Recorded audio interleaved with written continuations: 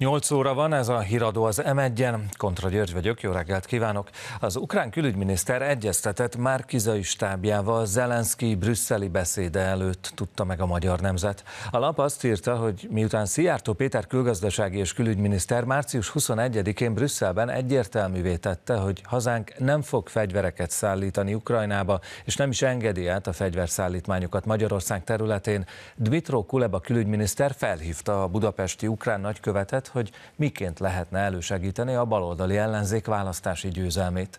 Az írás szerint Márkizai Péter baloldali miniszterelnök jelölt stábja és Volodymyr Zelenszky ukrán elnök között meg is történt a kapcsolatfelvétel.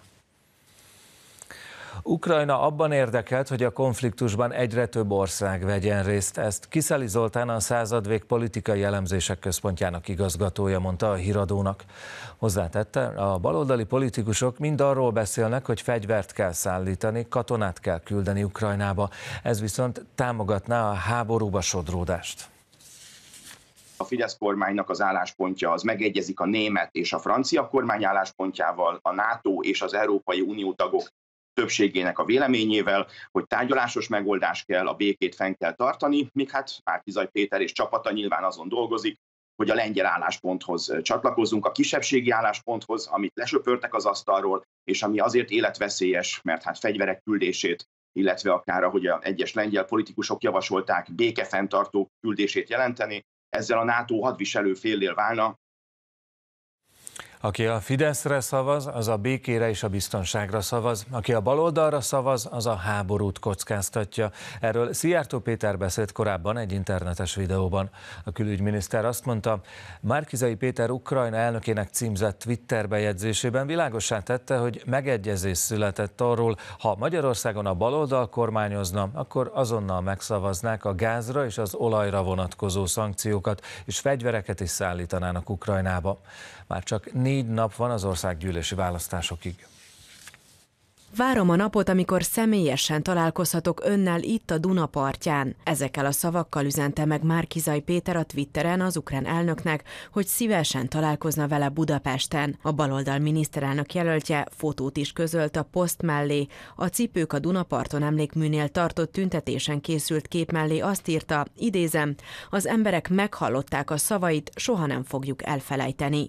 Volodymyr Zelenszky a csütörtöki EU csúcson szólt szokatlan stílusban Orbán Viktorhoz. A kereszt nevén szólította meg, majd két dolgot kért tőle. Egyrészt, hogy szavazza meg a szankció kiterjesztését az energiaszektorra, és Magyarország ne vásároljon gázt és kőolajat Oroszországtól. Másrészt, hogy Magyarország engedjen át fegyverszállítmányokat és küldjön fegyvereket Ukrajnába. Ön tétovázik, hogy be kell levezetni a szankciókat vagy sem, és habozik, hogy átengedje a fegyvereket vagy sem, hogy kereskedjene Oroszországgal vagy sem. Nincs idő habozni, ideje már dönteni, mondta az ukrán elnök. A hazai baloldal kezdetek óta követeli ugyanezeket a lépéseket a kormánytól. A Momentumos Cseh Katalin például egy márciusi videójában kampányolt a fegyverszállítás mellett. Az egyértelmű, hogy a NATO-nak segítenie kell, segítenie kell Ukrajnának avval, hogy megkapják azokat a fegyvereket, amivel meg tudják hívni ezt a háborút. Gyurcsány Ferenc pedig néhány napja a közösségi oldalán állt ki az ukrán elnök mellett. Az Origó azt írta, a baloldal vezetője kijelentette, hogy aki nem küld fegyvereket és katonákat Ukrajnába, és nem hal meg egy háborúban, az pocsék ember. A baloldal miniszterelnök jelöltje Márkizai Péter a háború kitörése óta hangoztatja, hogy a katonai segítséget is támogatná. Minden módon, amit a NATO eldönt, azon belül a szövetség keretein belül mindenféle segítséget és támogatást megadhat Ukrajnának. Akár katonait is. Hát, hogyha a NATO úgy dönt, akkor akár katonait is. Egy másik nyilatkozatában fegyverek küldése mellett állt ki. Hát, hogyha a NATO úgy dönt, hogy akár fegyverekkel is támogatja, Ukrajnát, akkor természetesen ezt mi is támogatni fogjuk. Legutóbb pedig hétfőn Twitteren tette világossá álláspontját. Ez a Twitter bejegyzés is világossá teszi azt, hogy megegyeztek, Márkizai Péter és Volodymyr Zelenszky megegyezett, így reagálta a külgazdasági és külügyminiszter. Szijjártó Péter szerint, ha a baloldal kerülne hatalomra, akkor azonnal megszavaznák a gázra és olajra vonatkozó szankciókat, és azonnal megkezdenék a fegyverszállításokat. Szijjártó Péter szerint, ha ezt végrehajtanák, annak súlyos következményei lennének. A fegyverszállítások azonnal háborúba sodornák Magyarországot, hiszen a fegyverszállítmányok katonai célpontot jelentenek, és ezért a fegyverszállítások Magyarország biztonságát súlyos veszélybe sodornák. Amennyiben pedig megszavaznák a kőolaj és földgáz szállításra vonatkozó szankciókat, akkor azzal az üzemanyagellátást, a fűtést veszélyeztetnék, és azt veszélyeztetnék, hogy Magyarország gazdasága a leállás szélére kerülne. Szijjártó Péter leszögezte, ez rendkívül veszélyes lenne Magyarország számára. Ezért április harmadikán világos döntés előtt áll az ország. A külügyminiszter úgy fogalmazott, aki a Fideszre szavaz, az a békére és a biztonságra szavaz, aki viszont a baloldalra szavaz, az a háború veszélyét kockáztatja. Márkizaj Péter délután úgy reagált, Szijjártó Péter egy nem létező Twitter bejegyzésre hivatkozva hazudozik. Mutatjuk még egyszer, mit írt Márkizaj Péter. A baloldal közös miniszterelnök jelöltje az ukrán elnöknek üzenve úgy fogalmazott, várja a napot, amikor a Duna partján találkozhatnak. Európa nem hallgathatja tovább Budapest kifogásait, ezt Volodymyr Zelenszky ukrán elnök mondta kedden, miután korábban már többször is felszólított minden európai országot, hogy vezessen be a lehető legkeményebb szankciókat Oroszországgal szemben, egyebek mellett az energiaszektorra. A legfrissebb ezúttal a Dán parlament képviselőinek mondott beszéde egy újabb jele lehet annak, hogy az ukrán elnök arra számít, a baloldal fegyvereket szállít majd Ukrajnának, és a gazdasági szankciókba is beszállna. Egy lépés a béke felé rész sikerekkel zárult az újabb orosz-ukrán béketárgyalás. A felek Isztambulban ültek tárgyalóasztalhoz. A csak nem négy órás egyeztetés után pedig több pontban is egyetértettek a delegációk. Az oroszok bejelentették, hogy csökkentik a katonai tevékenységet Kiev és Csernyihív környékén. Az ukrán delegáció pedig arról beszélt, hogy bizonyos feltételekkel vállalják a semlegességet. Közben folytatódtak a harcok, tegnap Mikolaivban és Mariupolban voltak heves összecsapások. Béke vagy háború, ez lett a választás tétje. Erről Békés Csabán beszélt Orbán Viktor egy kampányrendezvényen. A miniszterelnök azt is mondta, nem tudják teljesíteni az ukránoknak és a baloldalnak azt a kérését, hogy zárják el az Oroszországból érkező energiavezetékeket.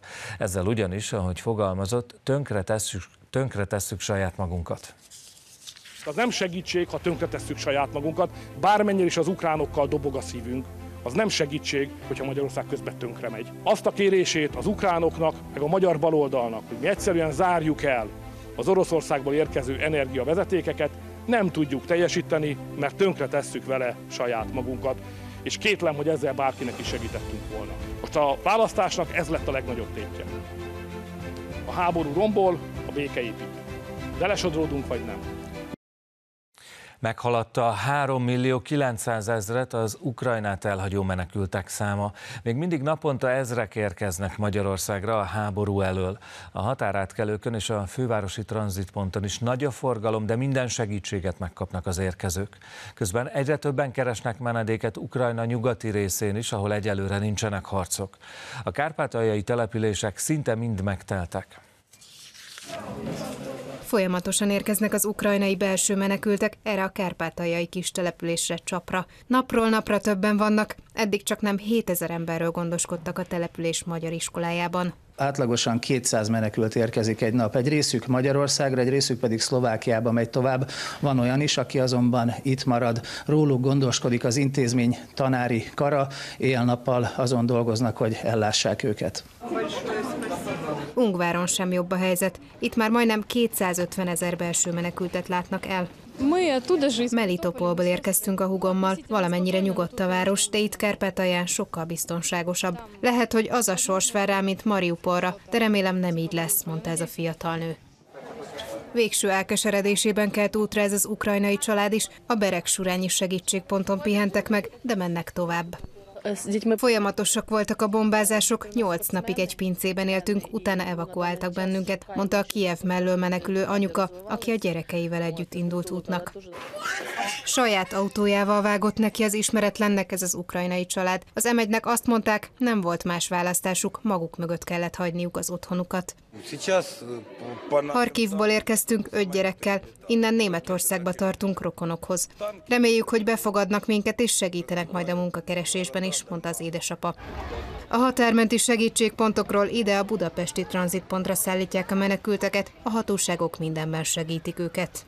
A budapesti rendőrfőkapitányság és a készenléti rendőrség erői továbbra is segítséget nyújtanak az Ukrajnából vonattal érkező menekülteknek. Ennek érdekében folyamatosan jelen vagyunk Budapesten, Kőbánya felső vasútállomáson. Az országos rendőrfőkapitányság összesítése szerint csak hétfőn mintegy tízezer ukrajnai menekült érkezett Magyarországra. Közülük 1142-en kaptak ideiglenes tartózkodási igazolást, amely 30 napig érvényes. Nekik fel kell majd keresniük az országos idegenrendészeti főigazgatóságot, és ott vehetik majd át a végleges okmányaikat.